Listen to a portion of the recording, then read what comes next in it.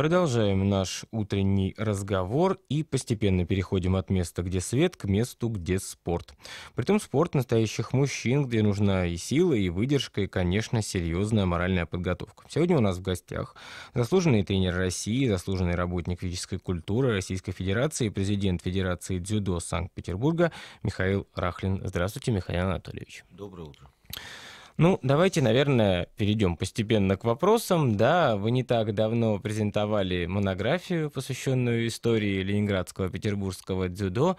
Ну, в общем-то, для такой большой работы, конечно, необходимо иметь за плечами немалый, да, как тренерский, так и персональный спортивный опыт выступлений, который у вас, безусловно, есть. И, наверное, первый вопрос о том, расскажите, Почему приняли решение издать эту книгу и насколько сложно было поднять такой обширный исторический пласт? Ну да, действительно, я думал, что эта книга э, напишем мы достаточно быстро, но в целом работа велась более трех лет. Mm-hmm. Более трех лет. А если брать так, сейчас я расскажу всю историю, то почти, наверное, уже лет восемь почти она велась. Когда в 2013 году не стало моего отца, тоже заслуженного тренера России Анатолия Рахлина, я решил написать для себя, для своих детей, для внуков, как бы историю своей семьи. Угу. Вот это не была какая-то публичная вещь, это просто мне для себя нужно было сделать. Я начал работать этим трудом и сделал его, написали мы эту книгу с моей командой примерно за два года. Вот. А когда я работал над книгой, оказалось, что огромное количество информации еще осталось, которое можно было бы во что-то воплотить. А так как я еще являюсь президентом клуба «Зотрубостроитель», и как раз-таки юбилей этого клуба был в 2019 году, мы издали повторно еще историю 50-летнего клуба «Трубостроитель». Спортивная общественность Санкт-Петербурга выбрала меня президентом Федерации дзюдо Санкт-Петербурга, и я посчитал необходимым, что мы должны знать свою историю, что мы должны восстановить все, что было за предыдущие годы, тем более, что, работая над всей информацией, над огромной информацией, которая у меня была, я понял, что э, Федерация дзюдо Санкт-Петербурга, самая первая в истории Советского Союза, была зарегистрирована в 1935 году. Вот, и мы засели за архивом, в архивы московские, архивы петербургские, все. И вот вылилось э, и получилась такая книга, как «Очерки истории Ленинградского и Петербургского дзюдо». Так что это огромная, большая работа, которая вытекала из первой, из первой, вторая, и вот теперь третья. Это... То есть я считаю, что, в принципе, моя миссия на этом, такая большая миссия э, об истории того, что было в Петербурге, завершена. Ну что ж, это очень интересно на самом деле. Переходя действительно от истории семьи к истории большого и интересного вида спорта, о можно рассказать. Ну, наверное, все-таки задам еще несколько вопросов о структуре, да, того, как, как, как писалось, да. А, есть ли какая-то основная тема, может быть, лейтмотив какой-то, который проходит через все это, ну, может быть, помимо истории, да, дзюдо, и, в общем-то, или это вот а, достаточно широкое название, да, есть и фамилии, и имена, и интересные даты, или это какой-то вот действительно набор очков, голов, секунд? Мы действительно ввели большое количество исторических фактов, документов. Все подтверждается документами. Еще много было архивной работы. Вот. Э, много людей вспомнили, которые уже забыты. Фамилии, люди, спортивные общества, мероприятия, соревнования. Э, э, книга выстроена именно как факты события и факты. Это не вымышленные истории, не просто истории, не история очевидцев каждый э, факт подтверждается документом, каждый результат, каждый человек, его вклад в, в развитие ленинградского и петербургского дзюдо, он здесь под, подтверждается реальными там, документами. Вот. Ну, а самое главное, конечно, хочется сказать, что мы первые. Мы первые, можно было даже на книге написать, мы первые. Первая федерация создана в Санкт-Петербурге, в Ленинграде. Вот, э, в Санкт-Петербурге, все правильно, в Санкт-Петербурге первый призер Олимпийских игр в мужском дзюдо из Санкт-Петербурга, первый призер Олимпийских игр в женском дзюдо из Санкт-Петербурга и так далее, и так далее. Я очень много могу примеров приводить, так что если вот так вот дописать к этой книге, так вот росчерк, мы первые, это было бы тоже правильно. Это тоже вот какой-то главный лейтмотив этой книги, один из главных. А вот все-таки, если она насыщена фактами, не сложно ли ее читать? Не выглядит ли она как альманах? Нет, нет, мы, ну, действительно, она немножко может быть суховата и сделана в большей степени для специалистов спорта и специалистов дзюдо, да, согласен, согласен. И вот я немножко, наверное, так вот э, сказав, что моя миссия закончилась. Нет. На самом деле у меня есть еще одна мысль, здесь выпустить четвертую книгу. Наверное, она уже будет заключительной. Это с вероятностью 99%. Это дзюдо 21 века. То есть это как раз-таки то, что было окончание 90-х годов, нулевые годы, 2000-е годы. Тут уже яркие краски, события, фотографии. Вот тут уже можно немножко развернуться. Потому что э, писать о том, что было раньше ярко и красиво, практически невозможно. Тем более огромное количество. Вот я могу сказать так, что мы нашли все. И, 30, и 20-е годы, и 30-е годы прошлого века, и э, довоенные, послевоенные, все но самый большой провал – это с 90 по 2000 год. Угу. Абсолютно все куда-то делось, потерялось, исчезло. Э, очень мало документов именно вот этих вот этого десятилетия. Вот, и не поднять никак. И ни здесь, и ни в Москве, ни в комитетах, ни в архивах, нигде практически ничего не найти. А как вы думаете, с чем это связано? Людям было не до спорта, людям было ни до чего, ни до системы, ни, ни до памяти, ни до чего. Им надо было выживать, они выживали, занимались сиюминутными сегодняшними делами. Я сам в этот период жил, это моя юность, детство, юность. Я понимаю, как было людям сложно. И единичные люди что-то сохраняли, такие вот, как мой отец, к примеру. Вот, но, к сожалению, я вот сейчас взялся за эту книгу, а многие те люди, которые могли помочь, они уже ушли. Вот, поэтому будем дописывать, искать, но сложно уже. Сложно. Хорошо. Тогда, конечно, хочется задать еще вопрос, пока мы вот говорим об истории развития дзюдо петербургского, ленинградского. В первую очередь, конечно, хочется узнать, вот по вашему мнению, какие, ну, наверное, вехи да, развития дзюдо вы считаете основными? Основные, конечно, это становление, это когда как дзюдо, скажем так, из-за моря завезли э, в Советский Союз. Это конечно, легендарный Ощепков, который служил, обучался в Японии. Он приехал сюда и здесь начал развивать. У него были его воспитанники, последователи его. В том числе это был э, такой э, педагог, тренер Дашкевич. Вот эта цепочка потом привела. Дашкевич был первым тренером Анатолия Рахлина. Вот эта прямая цепочка Кана, Ощепков, Дашкевич, Рахлин. Вот это вот мы установили вот эту связь.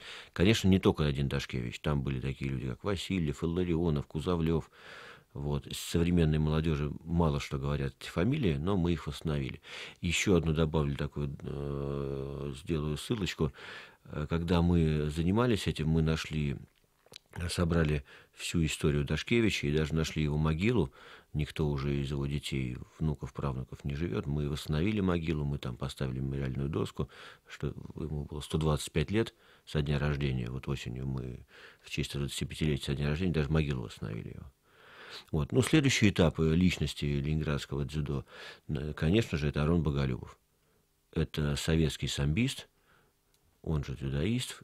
Когда было принято, что дзюдо входит в программу Олимпийских игр – то стали готовить команду. Один из первых был Арон Боголюбов, ленинградец, житель 1938 -го года рождения, житель блокадного Ленинграда. Вот, и он э, был первым призером Олимпийских игр. Конечно, огромный вклад его в развитие ленинградского и петербургского дзюдо. На его примере за ним пошли многие. Вот. Ну, вот, наверное, вот если так вот брать ту историю, то это Ощепков, Дашкевич, Васильев и Боголюбов. Да, ну дальше уже, когда ввели в программу женское дзюдо, была Елена Петрова, первая призерка чемпионатов мира, Олимпийских игр в составе сборной СССР. Тоже Ленинградка тренировалась у Александра Корнеева в, в Петербурге, Ленинграде в Петербурге. Вот она была первая, вот. Ну, первый олимпийский чемпион петербургский, Тагир Хайбулаев, это уже современная история. Вот вот эти такие большими мазками я вам рассказал. Хорошо, а, тогда еще такой вопрос. Вот упомянули, что самбист, дзюдоист, все-таки немножко об особенностях, чтобы нашим слушателям, конечно, в первую очередь было понятно, да, этого вида спорта. Да, значит, в 20-30-е годы прошлого века э, мы развивали дзюдо, ну, немножко по-другому называл дзюдо, там ну, много разных названий, э, ударений и так далее. Э, так как потом было запрещено называть э, импортными словами все, что импортные виды борьбы, вот, оно перешло в борьбу вольного стиля. классического вольного стиля, да. И потихоньку придумали название самбо. Дзюдо запретили, дзюдо переродилось самбо. Надо, это были все те же воспитанники Ощепкова, они же и дзюдо модифицировали под, э, скажем так, под советские виды единоборства, под самбо. Вот. Это, фактически это дзюдо. Да, надо сказать, что это сделали наши, скажем так, спортивные умельцы великолепно и замечательно, не хуже, чем было, а даже лучше. И действительно, самбо был уникальным видом спорта. Ну и, конечно, уже когда потом включили в программу Олимпийских игр, все вернулось на круги своя, и дзюдо через самбо вернулось опять в дзюдо. Это было 60-е годы, уже, да, 60-е годы. Вот. Ну, а первая федерация всесоюзная, официальная, организовалась. Вот удивительно, да, в 64-м мы боремся на Олимпиаде, только в 72 году э, образуется федерация, когда уже полностью стало ясно, что дзюдо – это полноправный олимпийский вид спорта, надо его развивать, надо его отделять от полностью опять снова от самбо. Так что дзюдо воплотилось в самбо и переродилось опять дзюдо. Вот такая вот интересная история. Хорошо, тогда э, о персонах мы уже немножко поговорили. Ну, естественно, хочется задать несколько вопросов про и Анатолия Соломоновича. Наверное, начнем с того, что можно ли сказать, что именно его пример, что именно его, вот как сказать, огонь, да, привел вас в этот вид спорта? Ну, наверное, так немножко по-другому отвечу. Состояние крови, да? Состояние крови. Кого-то есть состояние крови, бороться, соревноваться, соперничать. Прежде всего, наверное, это как-то было передавалось, и вот, это было прежде всего. А, он никогда не заставлял, никогда никуда не приглашал, ни спортивный зал не заставлял заниматься, это было само собой. Это было само собой, я был школьником во втором классе, по-моему, да. Я попросил, в, третьем, в третьем классе, в третьем классе, я его сам попросил, ну, дома скучно было сидеть, учился во вторую смену и просил его, чтобы он в первую смену организовал стал работать не только вечером, но и по утрам. С своего класса ребят собрался какой-то, с соседней школы собрались ребята. И вот нас там человек 30-40, мы организовали группу, и отец нас по утрам тренировал. Вот как-то само собой так получилось. А то, что действительно он никогда ни в чем не уговаривал, не убеждал, был во всем личный пример. Mm-hmm. Вот, смотришь, делает, хочешь или не хочешь, идешь, веришь, не веришь, идешь, не идешь. Личный пример, во всем был личный пример. Это, кстати, сейчас очень важно. А вот а, можно два слова, как проходили тренировки тогда? Ой, я не помню. Было и весело, было и сложно. Бывали моменты, как мы радовались прежде всего своему коллективу. Нам было классно, что мы проводим время не дома там где-то, и мама заставляет делать уроки, да? Mm-hmm. Вот. А мы собираемся, у нас есть возможность бегать, резвиться, общаться, дружить, воевать где-то, ну, в хорошем смысле, соперничать. Вот, наверное, самое главное было. Бывало и тяжело, бывало и приходилось преодолевать, плакать, терпеть, где-то какие-то травмочки получать даже в детском возрасте. Но как-то это так, это сейчас только с таким удовольствием это все вспоминаешь. Mm-hmm. Вот бывало, бывало, что и плакал, бывало. Там, я до сих пор некоторые преодоления свои помню, когда меня заставляли делать а я этого не мог, а меня заставляли. В итоге я преодолевал, и я становился мужчиной. ну, скажем вот так. это да, это, кстати, действительно очень... И слезы бывало такое, да. Очень-очень важная история. А вот вы сказали, что это само собой размевалось. То есть если бы, ну так вот гипотетически, вы выбрали какую-нибудь другую стезю, все равно бы, так сказать, образование физическое предполагалось. Да, конечно, конечно. Ну, во-первых, мы простые ребята, обычные. Нам что, на улице выпустили, взяли мяч. Кто выше, кто выше его, это самое, пнет. Взяли кирпич, кто дальше бросит. Смотришь дерево, кто выше залезет. Мы же ничего не понимали. Это все, видимо, в крови. Поэтому это было, да. я любил, ну, уже со временем. Сначала я был маленьким, толстеньким мальчиком, потом я любил и баскетбол поиграть, и в хоккей. И в свободное время доводилось и на коньках кататься, и на лыжах. Это, это было ежедневно, постоянно. Было любимое, было не очень любимое, но движение было постоянно. Ну вот это, кстати, очень важная история. Чтобы развиваться гармонично, да, нужно пробовать себя в различных вариантах, в различных видах. Я могу добавить, извините, что перебью. Да, конечно. Я вот шесть дней в неделю занимался тренировкой, спортом, э, профессиональными тренировками, и я бежал на уроки физкультуры. Я бежал на уроки физкультуры, у нас были замечательные преподаватели. Галина Николаевна, Галина Николаевна Цедрик, я помню, как сейчас, и мы бежали первыми до, до школы успеть поиграть в футбол, баскетбол, первыми оставались, последними оставались в спортзале тоже побегать, поиграть, все. То есть это вот в крови, не только дзюдо, но и просто физическая активность. Мгм. А тогда мысли о выход на какой-то международный уровень, на Олимпийские игры не было? Нет, наверное, было какое-то, что можно сделать больше, это было, да.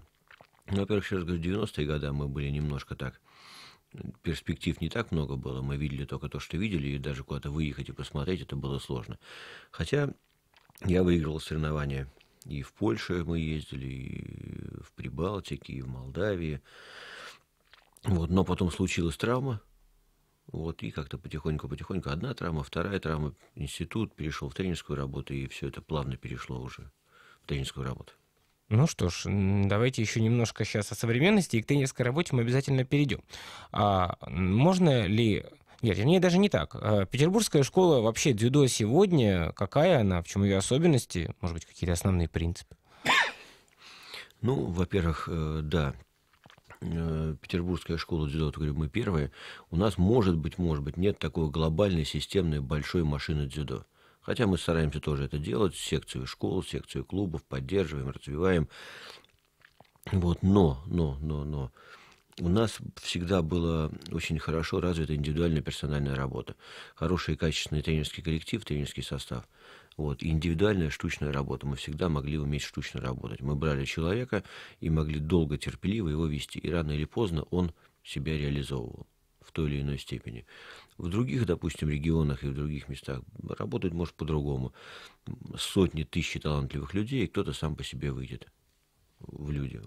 Разные модели есть э, тренировки. Поэтому я еще раз говорю, наверное, особенность наша та, что высококвалифицированные тренерские кадры и терпеливая индивидуальная штучная работа. Mm-hmm. Ну, да. А вот э, высокие тренерские кадры, если вот в прошлом веке, получается, не так много было примеров, не было слишком много возможностей для того, чтобы узнать, посмотреть где-то, кроме соревнований, то, в общем-то, откуда тренеры-то? Не соглашусь, потому что первые труды, которые мы нашли как раз в архивах, работая над очерками истории, они даже не в Москве были, они были в Петербурге, ага. в Лесковто, в институте Лесковто. Там открывались курсы, открывались группы, открывались ну, факультет, наверное, громко сказано, вот, но это учебно. Первые правила были разработаны в Петербурге, первые группы образовательно обучающие были созданы в Петербурге. Вот, поэтому нет, нет, нет, эта работа была поставлена, просто она была тоже точная, такой был, э, точная, не глобальная, но она была. Угу. Хорошо, как раз, может быть, получилось, что предваряет мой э, следующий вопрос. Ну, понятно, мы все знаем, что японцы, да, являются родоначальниками этого вида единоборств, но, тем не менее, вот мы уже сейчас поговорили о школах, поговорили о нашем характере русском, да, можно ли сказать, что этот вид наш наш хотя бы по характеру, хотя бы по менталитету, по нашему желанию добиваться и превозмогая все, что только можно.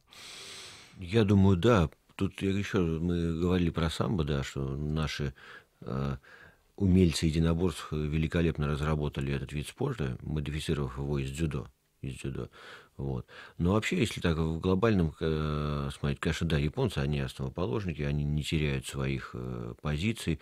Последние Олимпийские игры показали, что они безоговорочно победили и среди мужских и женских коллективов. Они победили очень так, с большим отрывом всех. Но это наш вид спорта, нам он комфортен, нам он удобен. Еще во времена Советского Союза были разные школы. Была школа там кавказская, грузинская, была школа Э, киевская, ленинградская, они были немножко разные, они добавляли друг друга, они делали какую-то свою э, такую самоидентичную такую историю. Вот, поэтому, да, у японцев классическая манера борьбы. Допустим, на Кавказе у них своя манера борьбы. У нас смешанная получилась. Вот. Ну, нет, у нас э, основано на, на тактике, на моделировании поединков. Нет, у нас, можно сказать, что у нас наша школа борьбы, она отличается от многих других. Угу. Ну вот э, интересный тоже момент. Я когда готовился, я смотрел по общему количеству завоеванных золотых наград. Естественно, на первом месте японцы, а на втором по статистике идут французы. Что можно об этом сказать? Почему не, не, не знаю, не более какие-нибудь суровые нации? Во-первых, мое размышление тут два два фактора. Первый фактор, что у них дзюдо введено в школьную программу, ага. и у них отбор идет среди миллионов, не сотен тысяч, не десятков тысяч, а миллионов. Это только в Японии и во Франции дзюдо в образовательные программы включено на таком обязательном. Вот, это первое. А второе, это мое наблюдение. с ним можно поспорить. Французы взяли за основу японскую классическую борьбу и грузинскую борьбу. Смешали, и получилось своя.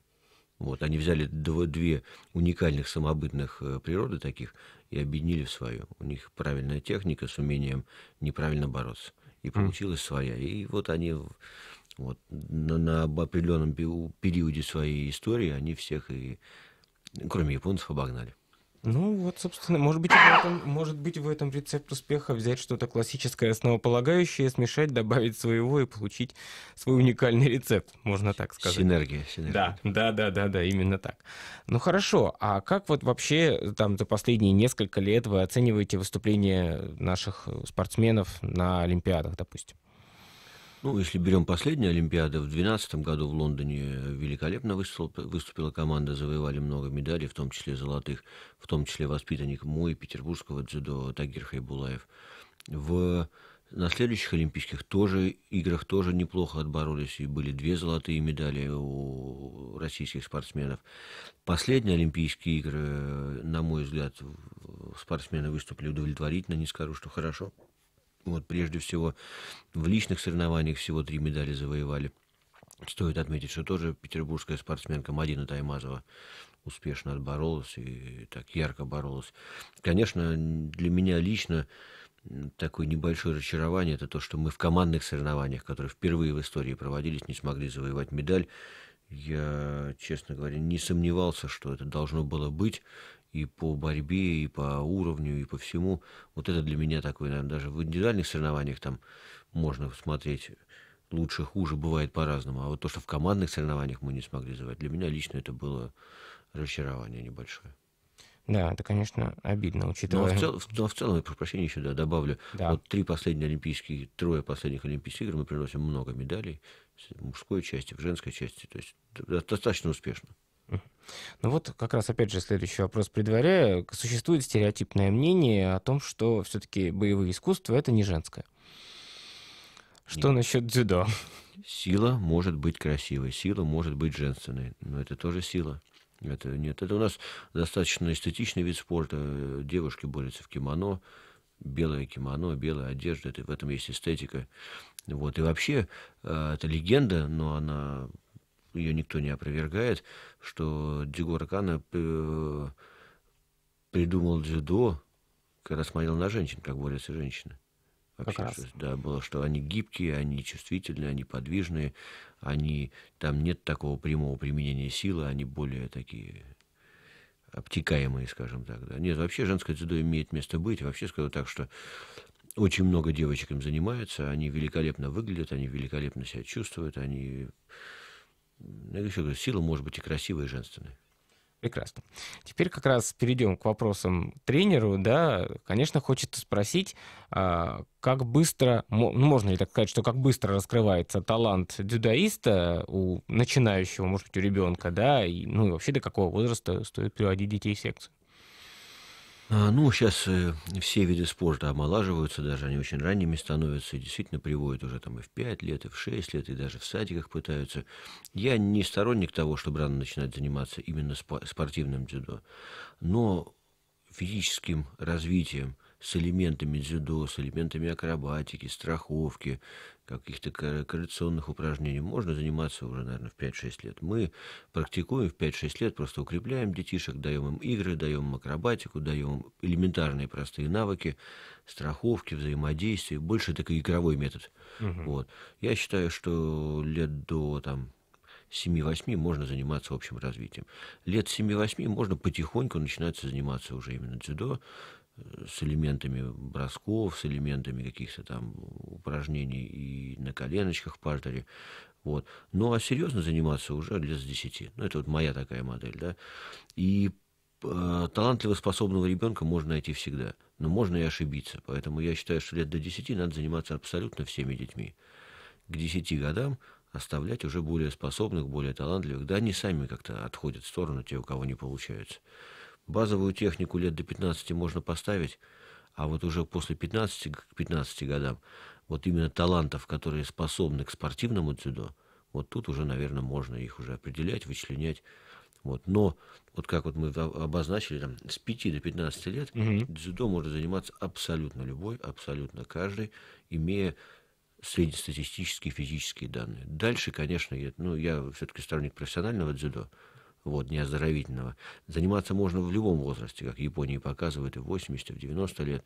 Но спортивным дзюдо именно для того, чтобы показывать результаты, для того, чтобы выходить на пик формы, для того, чтобы приносить медали, я думаю, что годам к 15-16 мы уже должны отбирать тех, кто способен на это. Хорошо. А вообще много ли у нас в городе секций, да, и координируется как-то работа, проводятся соревнования, отборы? Это же прямое, да, так сказать, показатель. Это прямая обязанность и ответственность Федерации дзюдо Санкт-Петербурга контролировать э, спортивные школы, спортивные клубы, училища Олимпийского резерва. Вот. У нас действительно большое количество школ, большое количество мест, организаций. Конечно же, среди них есть и э, не меньшее количество подпольных спортивных клубов, которые оказывают услуги непонятно какие, именно услуги. Не воспитывают, Понятно. не готовят, а именно вот, чаще всего это как это э, отъем денег у населения и некачественные угу. услуги. Этого тоже много. Как с этим бороться, должна быть какая-то государственная программа. Мы делаем по-другому. Мы э, с, э, ну, говорим, что любой может вступить в Федерацию дзюдо Санкт-Петербурга, но мы, ребят, будем смотреть, кто вы, что вы, как вы, вот, как вы работаете. И потому что случись какая-то неприятная история, все равно отвечать будет Федерация, в том числе как орган уполномочен это делать. Мы систематизируем проведение соревнований. Мы действительно огромное количество таких же подпольных соревнований было, был наполнен город, да и вся страна, где неофициальные стартовые взносы, где непонятное судейство, где непонятные условия, где нет непонятные призы и так далее, и так далее. И вот эти подпольные клубы, подпольные мероприятия, они чаще всего это отъем денег, отъем денег у населения, и на самом деле они отталкивают детей от спорта, отталкивают детей, родителей. Вот. Мы учредили э, детскую лигу дзюдо в Петербурге, официальную. Вот, мы проводим ее в хороших залах с э, официальным судейством, с хорошими призами, в хороших условиях, с обязательным медицинским сопровождением и так далее, и так далее. Мы проводим Всероссийскую лигу дзюдо сделали, она одна из сильнейших в России. Вот, мы ее проводим на великолепных площадках, таких как Дворец спорта юбилейный, арена Тиньков, там Сибур-арена. Мы ищем возможности проводить соревнования. Вот. Много всероссийских турниров, международных турниров, они проходят на самом высочайшем уровне. И добавлю только вот ко всему тому, что сказал, что мы стараемся для детей проводить соревнования так, как проходят самые крупные, серьезные международные соревнования для взрослых, чтобы они привыкали к условиям, чтобы они привыкали к качеству, чтобы они привыкали к борьбе такой солидной и серьезной. Ну что ж, к сожалению, у нас потихонечку подходит разговор к концу, но, естественно, не задать последний вопрос я не могу на эту тему, на тему этого вида спорта. Какие качества нужно воспитывать в себе, чтобы освоить эту спортивную дисциплину? Да не, я думаю, что это не только в этой спортивной дисциплине. Есть три вещи. Э, терпение, труд и талант. Надо искать талантливых людей, способных к этому делу. Надо терпеть и трудиться, потому что талант сам по себе это маленькая часть. Так что уберем талант, терпеть и трудиться. Терпеть, трудиться, любить это дело, и все будет получаться. А, кстати, вопрос, а если таланта не очень много, но терпения и труда много, может ли э, терпеливый и талантливый, терпеливый и трудящийся превзойти одаренного? Да, на каком-то этапе да, на, на уровне там до мастера спорта может любой, наверное. Не, не любой, многие могут. Но действительно, чтобы бороться на уровне чемпионатов мира Олимпийских игр, надо, чтобы звездочка тебя каким-то образом по, тебя, попала в тебя звездочка. Ну что ж, спасибо. Мне остается только напомнить, что у нас в гостях сегодня был заслуженный тренер России, работник, заслуженный работник физической культуры Российской Федерации, президент Федерации дзюдо Санкт-Петербурга Михаил Рахлин. Михаил Анатольевич, спасибо вам большое. Спасибо большое. Хорошего дня.